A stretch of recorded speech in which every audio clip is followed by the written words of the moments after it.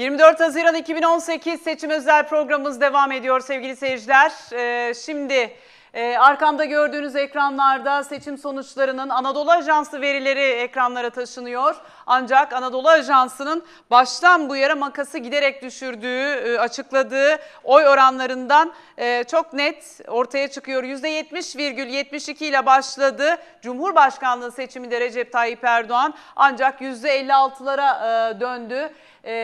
Ona döneceğim ama önce genel seçim için partilerin aldığı oy oranları var. Cumhur İttifakı'nda AKP %43,28, MHP %11,35 aldı. HDP'nin oy oranı %8,15. Az önce yansıttığımız rakamlarda %6 civarındaydı HDP. Onda bir artış var. Millet İttifakı'ndaki partilerde Cumhuriyet Halk Partisi %24,67 yine Cumhuriyet Halk Partisi'nde de artış var. Saadet Partisi 0,98, İyi Parti %10,29 ve diğer partilerde %0,93 şeklinde e, genel seçimlere yönelik sonuçlar böyle. Cumhurbaşkanlığı için sonuçları, son sonuçları getirelim ekranlara.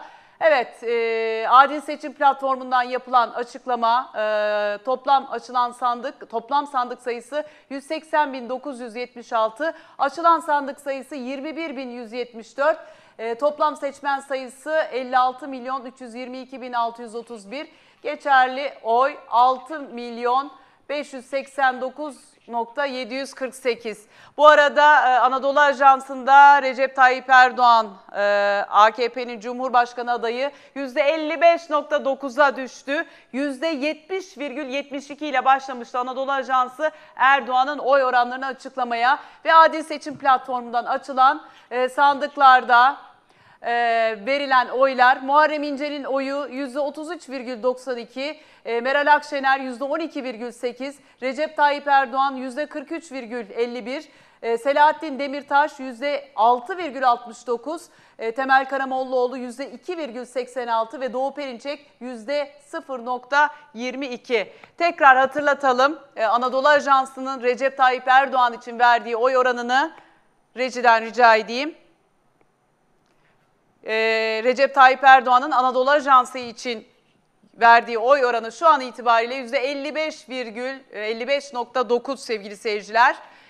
Ve Muharrem İnce'de 20,9 şeklinde e, makas 29 şeklinde makas giderek kapanıyor. İlk e, açıklaması Erdoğan için %70,72 şeklindeydi Anadolu Ajansı'nın. Son sonuçlar böyle.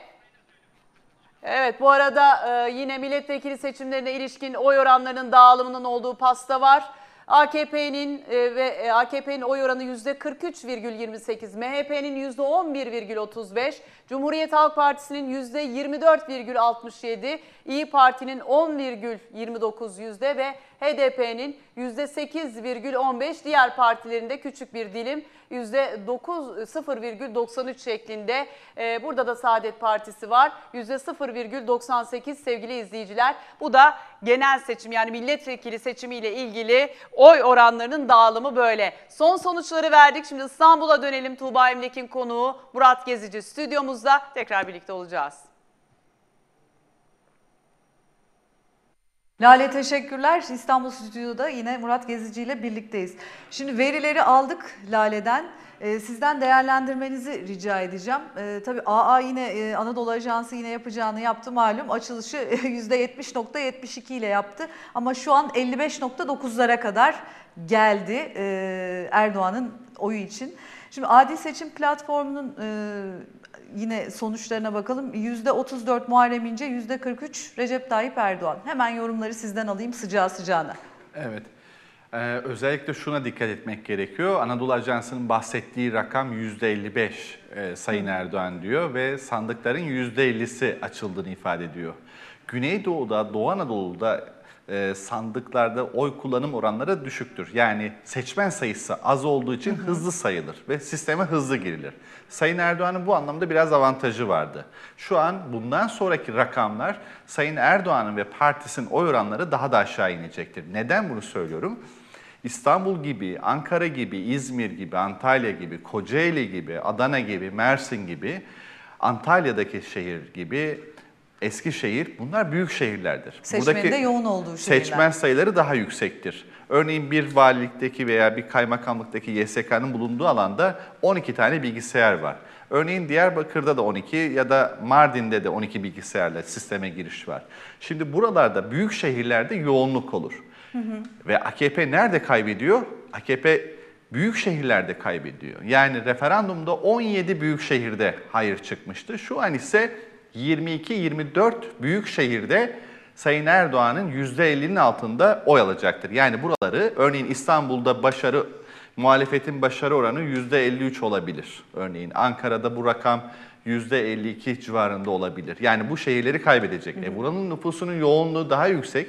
Örneğin İstanbul'da 3 puan muhalefet önde ise Türkiye geneline yansıması %1. Şurada özetlemek gerekirse şu an Anadolu Ajansı %55 ile bir sonuç veriyorsa özellikle Güneydoğu, Doğu Anadolu'da hızlı bir şekilde sayımı daha kolay şehirlerdeki sistemler veri bankasına girmiştir. Yani önemli olan Ege gibi, Marmara bölgesi gibi ve Akdeniz bölgesindeki oranlar daha sisteme daha yavaş girecektir. Ve burada bu sonuçlar biraz sonra belki bir buçuk saat sonra Sayın Erdoğan oy oranını %50'nin altında ihtimal verme ihtimalimiz çok yüksek olacak. Yaklaşık belki bir saat sonra ya da bir buçuk saat sonra Sayın Erdoğan'ın oy oranını hem de Anadolu Ajansı'ndan %50'nin altında ifade edeceğiz. O yüzden sandıklara sahip çıkmak çok önemli. Sandıklarda şu an sayıldı ve bunlar YSK'ya bildiriliyor. Buradaki takip süresi de çok önemli. Ee, sandık görevlilerinin YSK'ya işlemlerinin bitene kadar bu süreci bırakmaması gerekiyor. Bu yarış çok hassas bir şekilde alınacak bir yarıştır. Sayın Erdoğan çok yüksek bir ihtimalle %50'nin altında bir oy alacaktır ve ikinci tur Türkiye'de gerçekleşmiş olacaktır. Umut gerçekleşmiş olacaktır. Sayın Muharrem İnce 8 Temmuz'da Sayın Erdoğan'la yarışmaya yarışacaktır. Seçmenin sandığa katılım oranları çok yüksek. %90 civarında bir sandığa katılım oranının olduğunu görüyoruz. Referandum şey seçim öncesinde de ben katılım oranının %90 civarlarında olduğunu söylemiştim. Şimdi Sandığa burada- katılım burada- arttıkça da incenin oranı hızla artıyor. Burada bir sözünüze virgül koyacağım. Ee, Cumhuriyet Halk Partisi Niğde Milletvekili Ömer Fethi Gürer'den bir mesaj var. Ee, Niğde tarihinde ilk kez adliyede yangın çıkmış. Ee, ve çuvallar elde sayım için hani nerede sayılacak diye yer aranıyormuş. Bu Niğde tarihinde ilk kez adliyede bir, yangın çıkıyor. Efendim bugün gün içinde de yine oy pusulalarının yakıldığına dair e, bilgiler vardı. E, enteresan bir seçim e, ve adil olmayan bir seçim süreciydi biliyorsunuz. Bununla ilgili de yorum almak istiyorum sizden. Çünkü önemli bir gelişme. Ee, seçimlerin çok adil olmadığını ifade edebiliriz. Bunu neden söylüyorum? Örneğin bir cumhurbaşkanının sarayda seçime hazırlandığı, bir adayın ise cezaevinde seçime girdiği görülüyor. Yani o yüzden birçok konuda adaletli bir sistemin olmadığı yorumları katılabilir. Böyle bir atmosferde ne e, kimsenin ummadığı bir şey oldu. Kutuplaşarak e, bir seçime girmedi Türkiye. Bu yüzden bu çok önemli bir ayrıntı. Sayın Muharrem İnce Bey bu tuzağa düşmedi. Yani seçmenin kutuplaşmasını engellemiştir. Toplumla barışmıştır. Ee, seçmen birbirleriyle barışmıştır. Sayın İnce'nin mitinglerine baktığınız zaman farklı e, futbol taraftarların yan yana beraber yürüdüğünü, farklı profillerdeki seçmenlerin bir arada beraber hareket ettiğini görüyoruz. Bu seçmenin kutuplaşmasını engelledi ve toplumda adaletsiz olan bir seçim algısından da biraz uzaklaştırdı. O yüzden çok bütünleştirici, sağduyulu bir seçim gerçekleşti. Türkiye son 16-17 yıl içerisinde gerçekleştirilen seçimler içerisinde en güzel seçim gerçekleşti. İnsanlar daha umutluydu. Bunu da yansıdığını görüyoruz. Şimdi Murat Bey sizin e, seçim haftasında açıkladığınız bir anket vardı hemen geçtiğimiz Evet. hafta. Şu anda ekranda da görüyoruz. Onun üzerine de konuşalım. E, ilk önce Cumhurbaşkanı adaylığındaki yarışan seçimlerin e, isim isimlerle alakalıydı. Şimdi e, Recep Tayyip Erdoğan'ı %50'nin altında görmüşsünüz siz de %48.2 olarak. Az Evet. önce de teyit ettiğiniz gibi. E, Meral Akşener için %11.4, Muharrem İnce için 29.1, Ee, Selahattin Demirtaş'ı tam 10 sınırında görmüşsünüz. Temel Karamollaoğlu 1.2, Doğu Perinçek 0.1 e, şeklinde. Şimdi bunun üzerine de konuşmak istiyorum. Bu verileri elde ederken... milletvekiline baktığımız zaman a- ona da bakalım isterseniz eğer müsaitse milletvekili Evet, iki- oy oranlarını da İkinci verelim. tabloyu da e, alalım. Geliyor o da ekranımıza. AKP'nin eridiğini görüyoruz. Yani yüzde 43'e geriledi AKP. Milliyetçi Hareket Partisi 5.3'e gerilediğini görüyoruz. Ee, Cumhuriyet Halk Partisi'nin ise Şu anda o da ekranda görüyoruz. Evet, Cumhuriyet Halk Partisi ise %26.7'ye çıktığını görüyoruz. Yani AKP %43'e gerilemiştir. Milliyetçi Hareket Partisi %5'e, Cumhuriyet Halk Partisi Sayın İnce'nin e, ivmesiyle birlikte %26.7'ye çıkmıştır. Kendi oy oranı ise %30'a dayanmıştır. İyi Parti ise %10 civarlarında bir oya sahip. E, HDP ise %12 civarında bir oy alma ihtimali yüksek. AKP'nin ve MHP'nin ikisinin toplamı %48 civarında bir oya denk getiriyor. Yani 62 olan AK Parti ve MHP'nin oy oranı eridiğini görüyoruz. Bu erime nerede gerçekleşiyor? Şehir merkezlerinden kırsal alana doğru gittikçe AKP'nin güçlendiğini görüyoruz. Ama kırsal alandan şehir Batıya merkezine doğru doğru, gittikse e, AKP'nin kaybettiğini görüyoruz. Ee, AK Parti e, seçmeni e, şu şekilde oy verdi. Güvenlik gerekçesiyle oy verdiği görülüyor üçte biri. Diğer üçte birisi ise yaşam standartlarının, konforların daha devam etsin için, yardımların devam etmesi için oy verdiği görülüyor. Üçte biri ise gelecek bulamadığı için, gelecek kaygısıyla ülkeyi iyi yönetemediklerini düşünerek ayrıldığı görülüyor. Nerede bunlar? Bir kısmı Sayın Akşener'e gitti, bir kısmı da Muharrem İnce'ye geldiği görülüyor. Cumhuriyet Halk Partisi son 35 yıllık bir geçmişe baktığımız zaman ilk defa muhafazakar, e, ülkücü ve dindar kesimden adayı oy aldığını görüyoruz. Muharrem İnce toplumun barışık bir adayı olduğu görülüyor. Sayın e, Muharrem İnce Bey Cumhurbaşkanlığında ikinci turda en favori aday olacaktır. Bunun en önemli sebeplerinden bir tanesi AK Parti'nin hızla eriyor olması, ekonomik sorunların Türkiye'de öne her geçen gün ön plana çıkması, eğitim sistemindeki sorunlar, işsizlik gibi sorunlar bunlar Belirleyicisi oldu. Belirleyicisi oldu ve Sayın e, İnce topluma e, umut verebildi ve umudu örgütleyebildi. Bunun sürdürülebilir olduğunu devam ed- edecektir ve Sayın İnce 53 ila 54,5 veya 55 civarında bir oy alarak ikinci turda Cumhurbaşkanı olacaktır. Bu gece biz YSK'dan şu sonucu göreceğiz. %50'nin altında Sayın Erdoğan'ın oy oranını duyacağız ve %30 civarlarında ise Muharrem İnce'nin ikinci tura geçtiğini göreceğiz. İkinci tur neredeyse kesin gözüküyor. Az önce e, Ömer Fethi Gürel'in mesajından bahsetmiştim efendim. Niğde'de oy sayımı yapılırken e, adliyede yangın çıktığını, şimdi onun görüntülerini hep birlikte izleyelim, üstüne de yorumlayalım. Şuradan, şuradan, şunlardan alarak gel.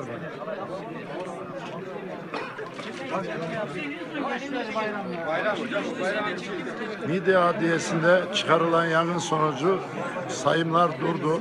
Şu anda görevli arkadaşlar ne yapacaklarını bilgisini almadıkları için buralarda sayım torbalarıyla bekliyorlar.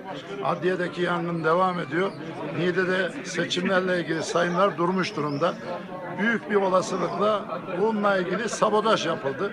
Çünkü Niğde'de Cumhuriyet Halk Partisi'nin milletvekili çıkaracağı açık ve netti. Kesinlikle bunun üzerine bir oyun kurgulanıyor. Biz bu oyunu bozacağız.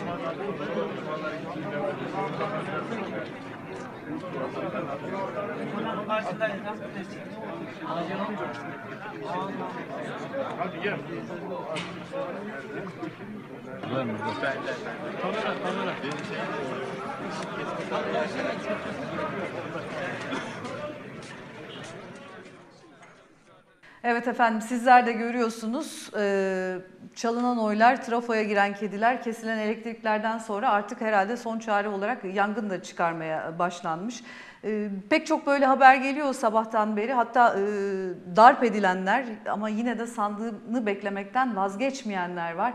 Efendim sandıkları terk etmeyelim son sonuçları alana kadar herkes sandıkların başında beklesin diyelim. İşte görüntüleri beraber izledik. Adil olmayan bir seçim sürecinden bahsediyorduk. E, işte bugüne kadar da geldik maalesef. Evet. Ee, şunu ifade etmek isterim. Türkiye Cumhuriyeti tarihinin son 50 yılına baz aldığımız zaman ilk defa bu kadar heyecanlı bir yarışın olduğu ve katılımın en yüksektir. Resmi rakamlara bakıldı, baktığımız zaman son 50 yılın en yüksek katılımını görmüş olacağız. %90 olarak biz açıklamıştık. Ee, muhtemelen %90 civarlarında çıkacağını tahmin ediyorum. Burada sandığa katılımın artmasıyla bir tarih yazılıyor.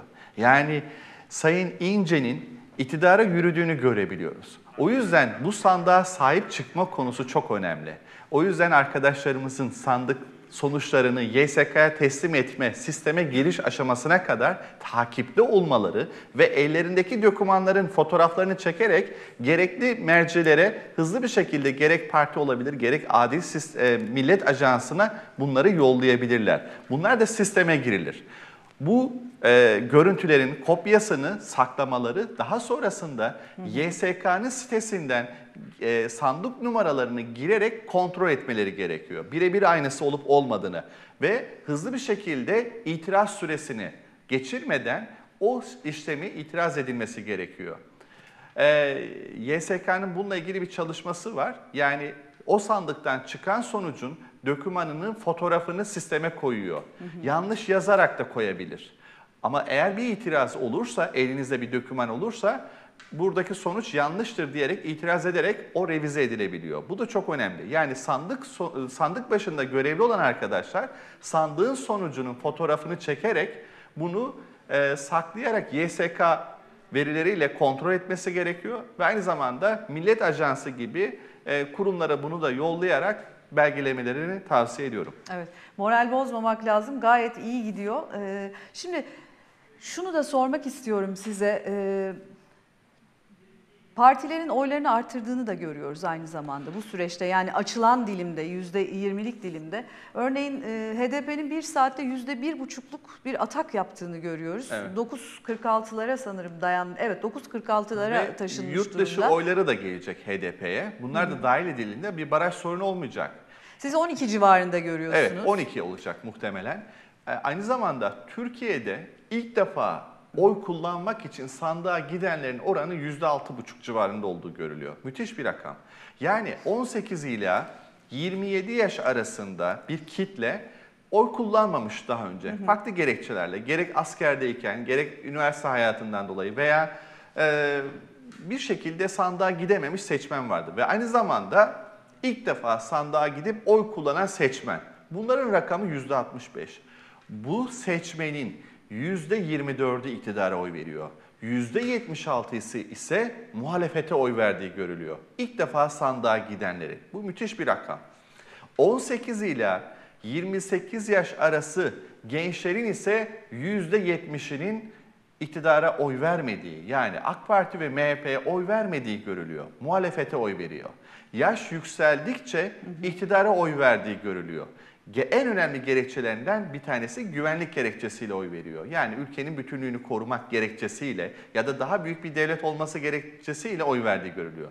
Muhalefete seçmen neden, muhalefete neden oy veriyor seçmen diye baktığımız zaman özellikle ekonomik sıkıntıların devam ediyor olması, işsizlik, eğitim gibi hukuk ve adaletle ilgili kaygılarının parlamenter sisteme dönmek için, e, ifade özgürlüğü için, daha demokratik bir Türkiye'de varlığını sürdürebilmek için muhalefete oy verdiğini görüyoruz seçmenlerin. Yani çok ilginç. İktidara oy verenler ise duygusal davranarak oy veriyor.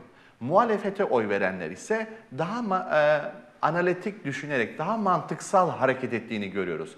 Ve iktidara oy veren seçmen ise yaşlı seçmen, genç seçmen değil. Yani AK Parti ve MHP kırsala hapsolmuştur. Aynı zamanda yaşlanan bir seçmene sahiptir.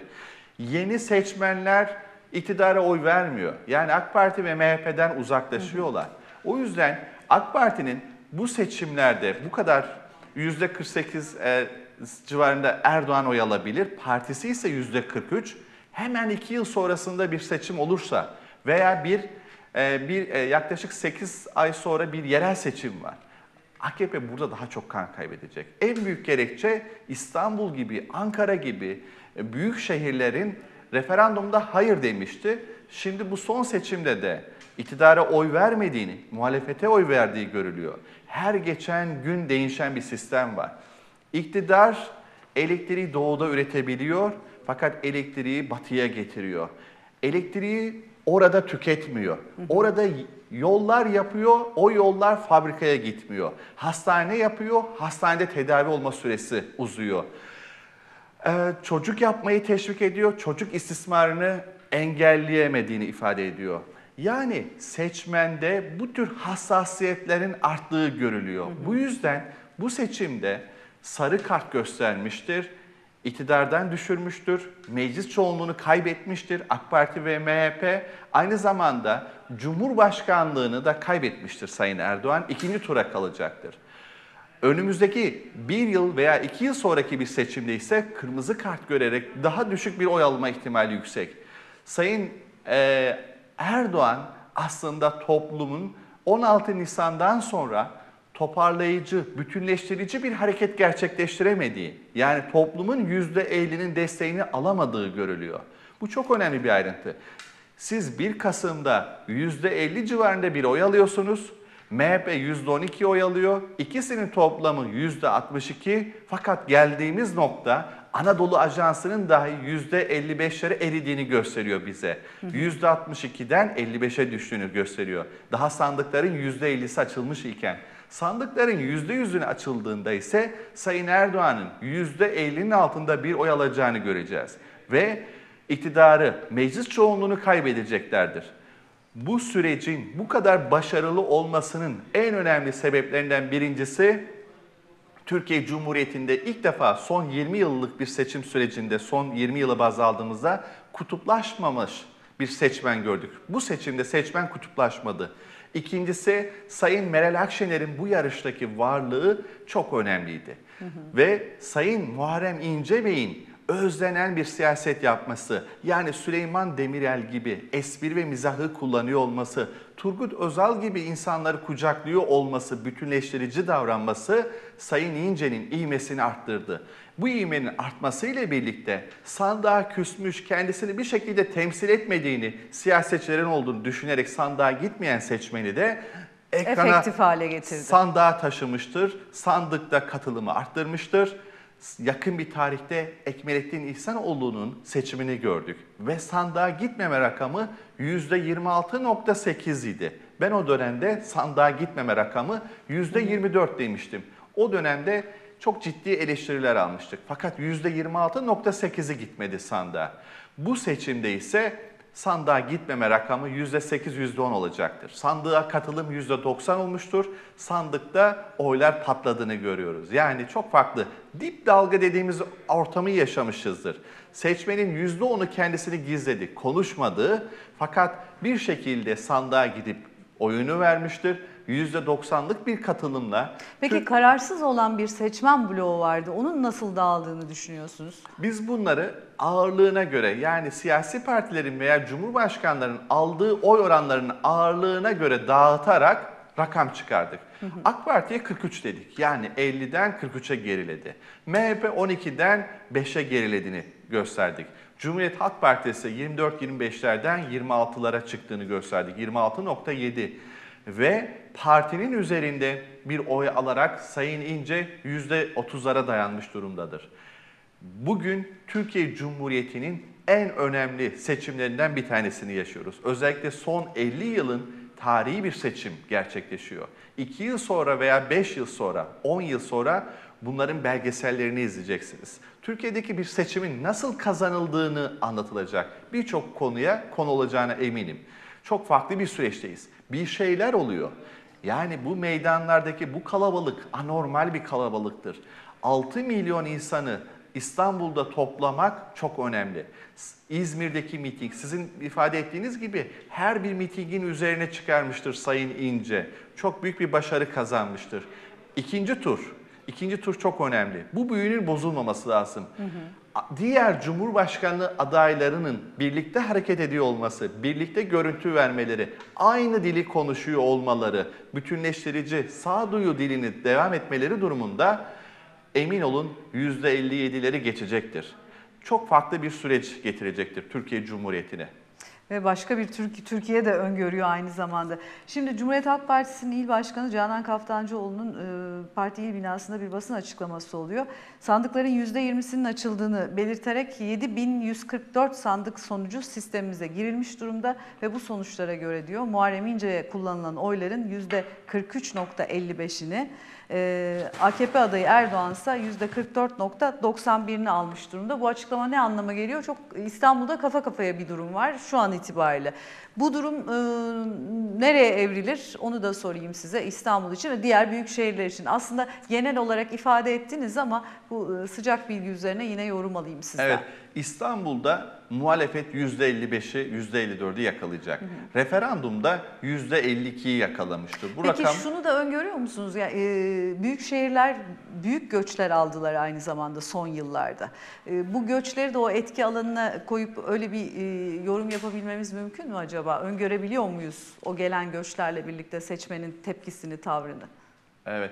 Özellikle Güneydoğu ve Doğu Anadolu'dan İstanbul çok büyük bir e, oranda göç alıyor. Sadece İstanbul değil, Kocaeli, İzmir'de alıyor. Evet. E, bu seçmen e, umut açısından göç ediyor. Yani yaşam alanı değiştirerek farklı bir yerleşkeden farklı bir yaşam alanına gitmeye çalışıyor. Umuda gitmek istiyor. Fakat aradığını bulamıyor. Türkiye genelinde çok ciddi bir ekonomik kriz var. Bunun sorumlusu olarak hükümeti gösteren bir seçmen kitlesi de var. Bu kitle başarısı Sayın Erdoğan'ın başarısızlıktan geri plana düşmesinin en önemli sebeplerinin başında ekonomi olduğu görülüyor. İşsizlik olduğu görülüyor. Yani siz e, Fırat'ın doğusunda e, işletme, fabrika anlamında bir katma değer yaratamazsanız, buradaki göçü durduramazsanız bu size geri dönüşleri oy olarak yansıyacaktır. Yani rakiplerinize, muhalefete oy verecektir. Sizi denedi. 16 yıl, 17 yıl boyunca umut bularak sizlere oy verdi. Her defasında oyunu arttırmıştır AK Parti ve büyük bir başarı elde etmiştir. Fakat ilk defa AK Parti %50'lerden 43'e gerilediğini görüyoruz. Ve Cumhurbaşkanlığında da kaybetme riskini tamamen yaşamış durumdaydı. Şu an devletin e, ajansından da aldığımız verilere göre baktığımız zaman şu anda da %70'lerde açılan sandık e, %70 civarında oyları ifade edilmişti. Fakat şu an %54'lere kadar düştüğünü görüyoruz. Demek ki bir şeyler oluyor. Birazdan e, daha farklı sonuçlar da alacağız. Bu bize zaman ilerledikçe makasın direyerek e, kapanacağını gösteriyor. Yani bu akşam büyük bir zafer kutlaması olacaktır ama bu zafer kutlaması mutlaka sağduyuyla, bütünleştirici bir dille olmalı ve liderlerinin sözlerini dinlemeleri, o sakinliği, o sükuneti mutlaka sağlamalılar. Taşkınlık yapılmaması gerekiyor. Çünkü bugün e, muhalefet Cumhurbaşkanı adayı Sayın Muharrem İnce'yi ikinci tura taşıyacaktır. 15 günlük aslında uzun bir serüven. Bu 15 günde Muharrem İnce Bey'i daha çok tanıyacak Türk toplumu. Ona daha çok inanacak ve umudu alacak mutlaka. Çok farklı bir Türkiye'ye doğru gidiyoruz. Şimdi e, sonuçlar gelmeye devam ediyor. Tabii e, BBC News'un e, karşılaştırmalı olarak hem acil seçim platformu hem de Anadolu Ajansı ile yani devletin ajansı ile karşılıklı aktardığı sonuçlar var. Bir 15-16 dakika önce yine bir tweet hatta 12 dakika önce e, tam rakamı söyleyeyim.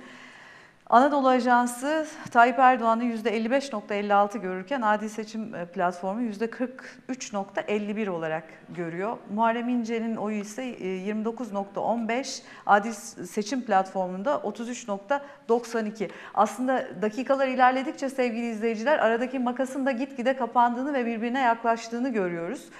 Tabii e, devletin ajansında daha büyük, bir yüzde var. Malum başlangıç aşamalarını da biliyoruz. Meral Akşener'in oyu ise Anadolu Ajansı'nda yüzde 7.47, Adil Seçim Platformu'nda ise yüzde 12.8. Meral Akşener'in az önce yine bir tweet'i vardı. Aynı çağrıyı, e, çağrıyı kendisi de yaptı. Sakın dedi e, seçim sandıklarının başından ayrılmayın. Islak imzalı tutanakları görün.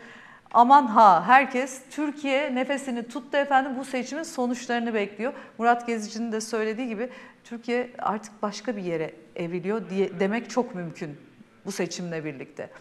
Peki e, Meclis aritmetiğini biraz daha açarak konuşabilir miyiz? Yani meclis aritmetiği bu durumda e, ne olur?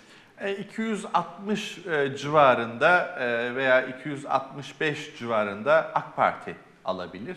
E, %17 e, civarında ise Milliyetçi Hareket Partisi'nin alacağını tahmin ediyorum. Yani e, muhalefet 320 e, sandalye say, e, sa- e, Tekrar 320 ifade edebilir misiniz acaba? Tabii AK Parti 265 civarında bir sandığa şey milletvekilinin sayısına ulaşacaktır. Milliyetçi Hareket Partisi ise %17, %10 e, pardon 17 veya 18 tane sandalye sahip, sandalyeye sahip olacaktır. Yani e, iktidar AK Parti ve MHP 280 civarında bir sandığa e, milletvekili sayısına sahip olacaktır. Muhalefet ise 320 e, sandalye sayısına sahip olacaktır. Ve iktidar ilk defa muhalefete düşecektir mecliste. 280'a 320 civarında bir milletvekili aritmetiği karşımıza çıkacak. HDP mecliste olacak ve Türkiye'de özlenen bir meclis göreceğiz. Zengin bir meclis göreceğiz. Yani AK Parti'nin içerisinden Büyük Birlik Partisi girdi. Milliyetçi Hareket Partisi meclise girmiş olacak. Saadet Partisi mecliste olacak. Aynı zamanda Demokrat Parti mecliste olmuş olacak. Ee, HDP mecliste olacak. İyi Parti, Sayın Meral Akşener'in partisi meclisi olacak. Cumhuriyet Halk Partisi meclisi olacak. Yani çok seslilik olacak.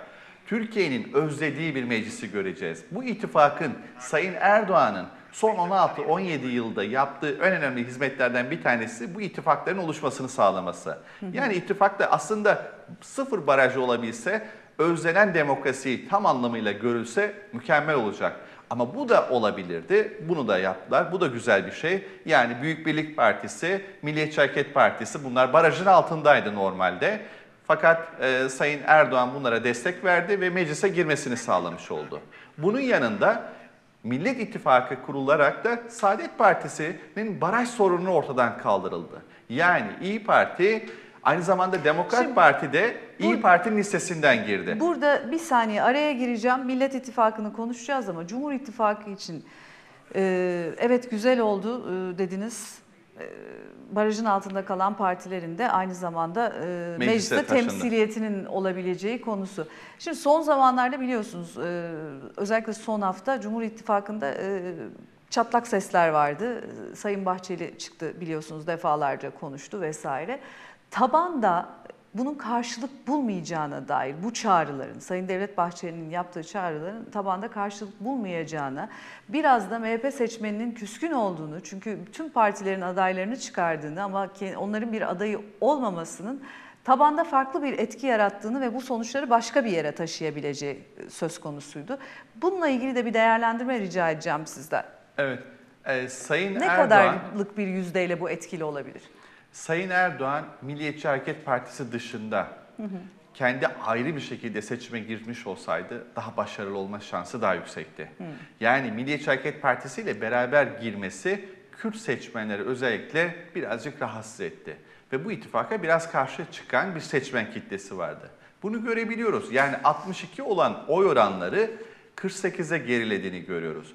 Sayın Devlet Bahçeli'nin de ara ara AK Parti ile çekişmelerini hisseder olduk. Yani bu ittifakın ha bugün bozuldu ya bozulacak gibi bazı söylemlerini duyduk. Sayın e, Devlet Bahçeli hassasiyetlerini paylaştı kamuoyunda. E, bu ittifakın mecliste çoğunluğu kaybettikleri için bir yasa çıkartamayacaklardır ama eğer ki çoğunluk kazanmış olsalardı dahi Tamam. E, başarılı olamazlardı anlaşma konusunda. Murat Bey çok teşekkür ediyorum değerli yorumlarınız için. Sevgili izleyiciler araya gidiyoruz yeniden birlikte olacağız.